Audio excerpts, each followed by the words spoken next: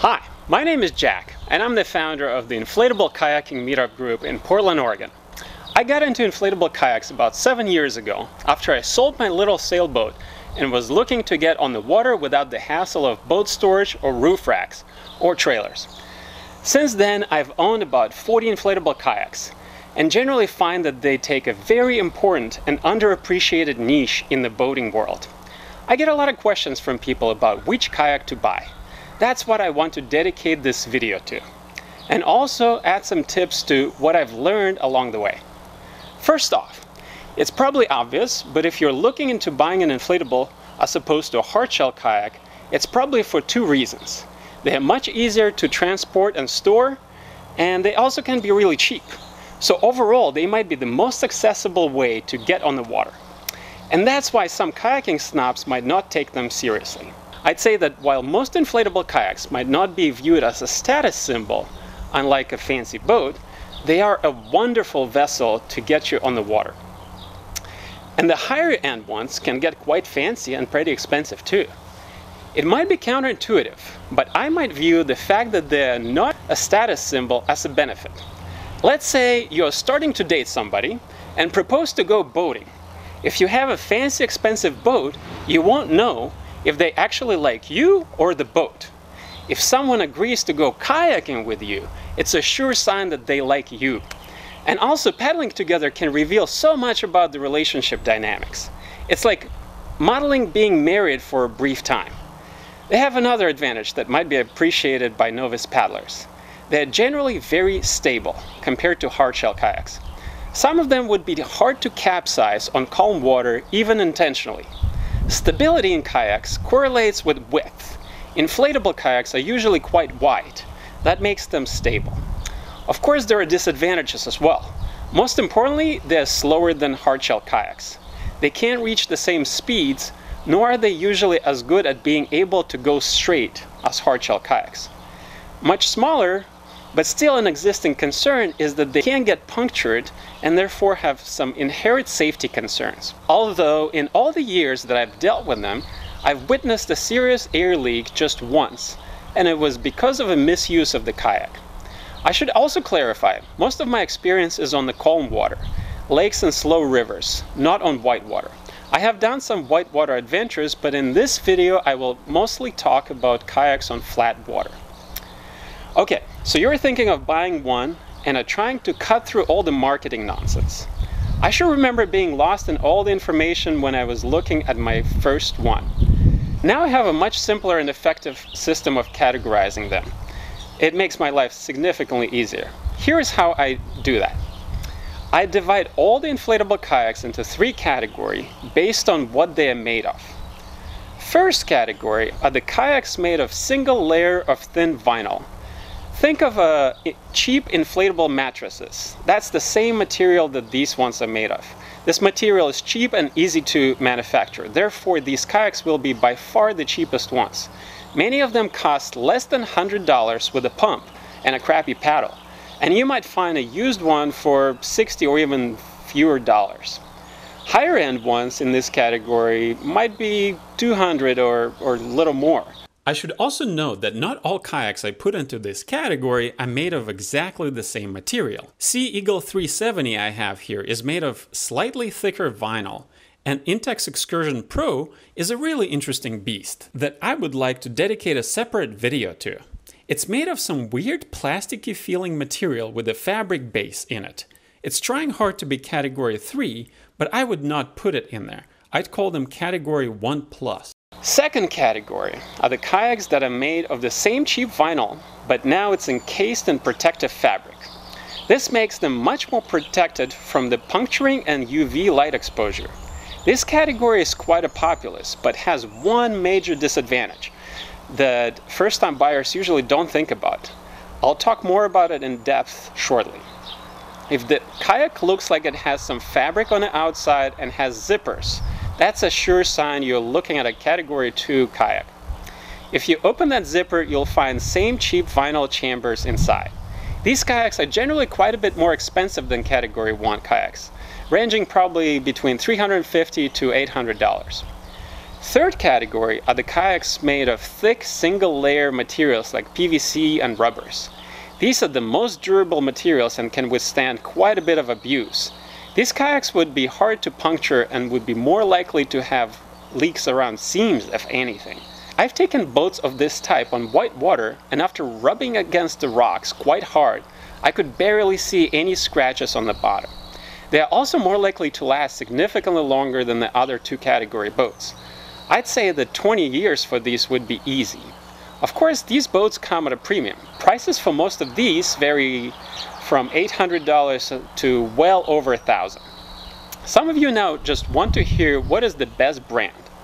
I can give you my general observations. Category 1 kayaks seem to be dominated by the brand who managed to make cheap yet surprisingly well-performing boats. Intex is its name. Second category has many good players. Advanced Elements is probably dominating. There is also Aquaglide and bunch of others. Third category is led by Sea Eagle.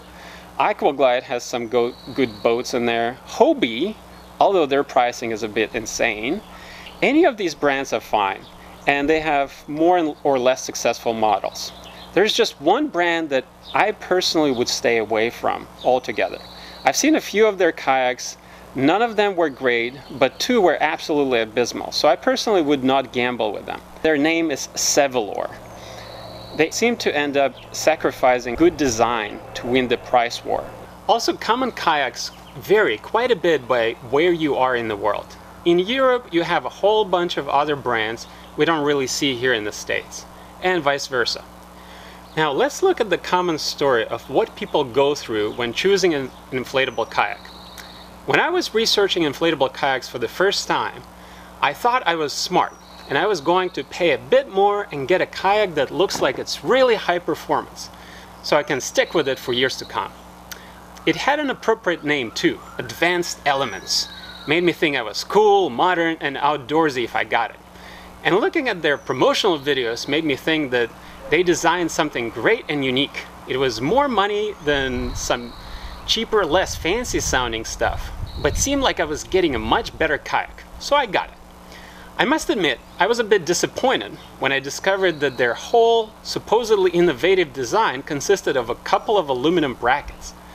And then I discovered that when I open the zipper on the fabric cover, I have these cheap vinyl chambers staring at me and the kayak sags when I sit in it. I felt like it was dirty secrets that were meant to be hidden but the worst blow by far was when I discovered that drying this is a total and utter pain. This seems like the perfect time to talk about probably the most important topic that novice paddlers don't think about, drying your kayak. I often get asked how long it takes me to inflate and set up a kayak. The answer is 5 to 7 minutes max, and it's quite easy and joyful. What nobody asks about and they really should, is how long it takes to dry and pack away a kayak. I will tell you that that part of the process is much more critical than the setup. When you're getting the kayak ready, you're enjoying the thought that you're about to be on the water, you're probably in nature, and you're generally having a good time. When you come back all tired from paddling, the last thing you want to do is deal with your kayak. But you have to and it is particularly bad for category 2 kayaks. Category 1 or 3 kayaks, you just drain, wipe off, deflate and pack. Category 2 boats are almost impossible to dry fully because they're covered with a fabric that allows moisture in and they have multiple layers so the water gets in between. Most of the time they will be slimy on the inside even after months of dry storage and are quite prone to molding. Drying them when you get home might be required, which usually, I assure you, is the last thing you will be in the mood to do. If you're buying an inflatable kayak, you might not have too much space to dry a boat to begin with, so this is a big consideration. And I never saw it mentioned in any promo materials. So as you might have deducted, my first kayak was a category 2 kayak, and I have a bit of a prejudice against category 2 boats because of the drying issue. I don't want to sound all negative about advanced elements, and will openly say that performance-wise, their kayaks are quite good.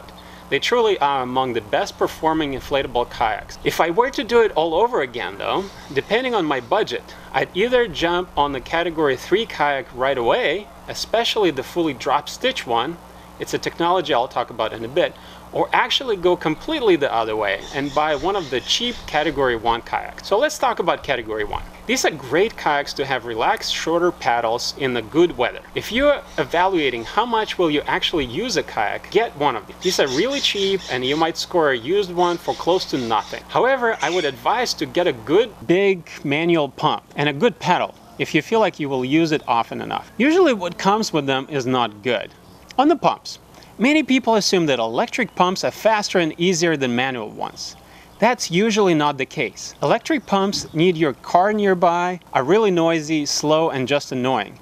There are good electric pumps, but they're usually really expensive. These pumps will cost you more than a Category 1 kayak a lot of times. You might want to spend more money on the paddle than you would on one of these kayaks. And it's okay. That paddle might stay with you for the rest of your life and you can change kayaks while keeping it. Another great advantage of Category 1 boat is the fact that they're really small when folded. For example, Category 3 kayaks takes a whole big storage shelf, while the same space could fit probably six of these. Disadvantages of these boats is they're usually quite slow. Many of them don't track well at all. That means they have hard time going straight. So with every paddle stroke, you rotate the kayak and waste your energy spinning rather than moving forward. But if you get one of these, you're probably not going really far anyway. They also often have inflatable seats. That's something that at first does not seem so bad, yet it is actually quite annoying and uncomfortable. These seats often have super annoying tiny valves that are really hard to inflate and even harder to deflate. They only make these seats because they are cheap to manufacture. If you can, avoid these seats or replace them with normal kayak seats. Intex is the company that dominates this category and they make surprisingly good value kayaks. For the money, they might be more kayak per dollar than any other kayak. Simple rule to follow. Don't buy a kayak if it does not have a skeg, that is a tracking fin, of any sort. Probably it won't be able to go straight at all. Category 2 kayaks. I've already talked about them a little. They're significantly more durable. I've gone on multi-day camping trips on them and they do just fine. If you don't mind the drying issue, they're quite a good choice. Also, most inflatable whitewater kayaks belong to this category. AIRE is probably the main brand for the inflatable whitewater kayaks. When looking at whitewater capable kayaks, you might see the phrase self-bailing advertised as a great achievement. I imagined it meant some kind of water pump in it, Turns out it actually means it has holes on the bottom. It really helps when you get a bunch of water dumped into the kayak and you are wet already anyway. If you're on a flat water, self-bailing translates as wet butt because water is coming inside through those holes. You don't want self-bailing for paddles where you are hoping to remain dry. Also, you'll notice many kayaks in this category are enclosed, and you can have a spray skirt attached. It seems that it's rarely used by people. Most kayakers dedicated enough to kayaking in that kind of conditions use hardshell kayaks. And novice kayakers usually seem to be more comfortable in open kayaks, that in their openness are more like a canoe. It feels safer, and in the case of a capsize, you won't get trapped. So category 3 kayaks. These are for kayakers who are more committed to kayaking or just have the money. These are the kayaks I take on multi-day trips and I'm not worried about puncturing them.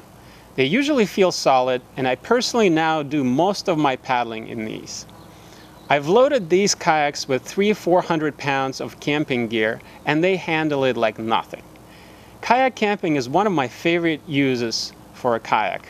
It's like backpacking, but exercising the upper body while sitting, and also you get to bring much more stuff with you and be comfortable. Kayak camping, as opposed to backpacking, might also save you on expensive super light backpacking gear.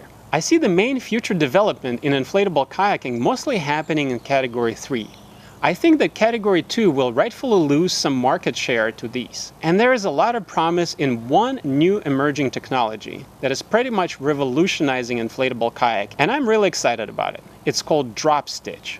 What it is, is a technology that allows boat makers make inflatable chambers that are flat instead of round. The way they do it is they have thousands of strings inside connecting the two sides. What this translates to is inflatable kayaks that have chambers of about the same shape as a hard shell and also have high pressure. So they're rigid and behave much more like a hardshell kayak. It means they're significantly faster. Sea Eagle RazorLite line is the pioneer with these, and I personally love them. They're as close to perfection in an inflatable kayak as I've seen. At this point, they have only one potential area of improvement left the seam between the floor and the sides. I would certainly endorse these kayaks. They're pretty much all a paddle now, but they certainly cost quite a bit somewhere around $1,000 for a single and 1400 for double. However, if you use them often, in my opinion, it's well worth it. I'm noticing I'm starting to sound as if I'm pushing Sea Eagle RazorLite kayaks. I'm in no way affiliated with them or any other manufacturer. But yes, indeed, I consider these kayaks to be superior to any other kayaks on the market. I know it seems that they are expensive, but I'd say it really boils down to how often you'll be using it. Here's a simple calculation. If you paddle twice a month for six months out of the year, and that's pretty low use, and we compare it to a kayak rental that costs $30, which is also a low conservative estimate, buying a fancy $1,400 kayak will pay off in less than four years. But if you don't actually end up using your kayak and it just sits around, even if you spend $100 on it, you are not getting your money's worth. So ultimately, your goal is to get a sense of how much you'll be using a kayak if you own one. Go rent a kayak, borrow one from a friend, and see how it feels. Or buy a really cheap Category 1 kayak. If you realize you like being on the water, or especially if you like to go some kayak touring, camping, Category 3 kayaks is my advice. I just skip the whole Category 2 wet fabric nonsense. Sometimes I get a question about double versus single kayaks. Let's say if you have a partner and are deciding between two single kayaks or one tandem one, I'd say the main thing to consider is how good of a team you are. Paddling a tandem kayak can be a relationship tester, but if you're good at it, you get a great bonus. Tandem kayaks are inherently much more efficient. They're faster just because they're longer. But there is also another interesting effect at play here. If a person is paddling alone, you might be going, let's say, three miles an hour. If two people are paddling, the speed does not double. You would not be going six miles an hour. You will only go at probably four miles an hour or so. So on longer trips, it makes sense to paddle one person at a time and rest 50% of the time. That can allow you to go much further with the same effort.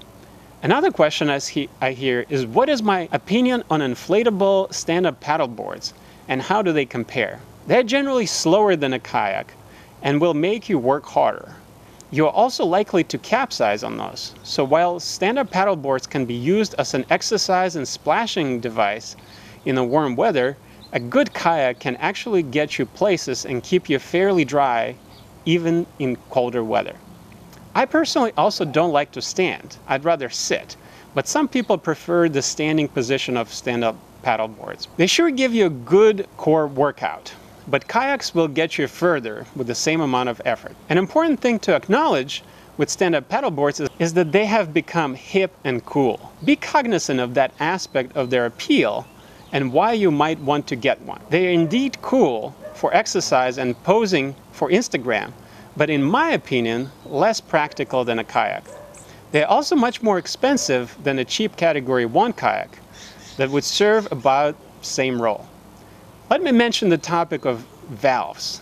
There are a number of valves that I would consider perfectly fine and workable. What I don't like is when boat makers use two different valves on the same boat. It's like, it's just annoying and feels disrespectful towards the user. Also, tiny little valves used on cheap kayak seats or small chambers are a pain, and I try to avoid them as much as possible. Another topic is storage conditions. Try not to store your kayak in the places where the temperature swings quite a bit. Basement is preferable to the garage, and ideally if you can avoid it being tightly folded with sharp bends, especially for, for long periods, it'd be ideal. But I understand it's hard to do.